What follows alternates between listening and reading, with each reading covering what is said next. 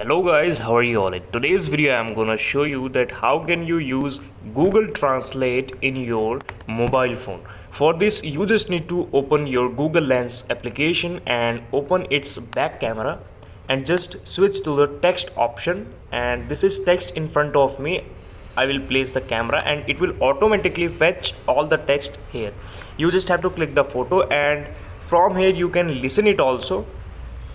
So I am listening it it whatever it was written in this I can hear them. So this is the process by which you can translate here or search also or, or you can do homework also on this website. So thank you so much for the video. Please subscribe the channel if you like the video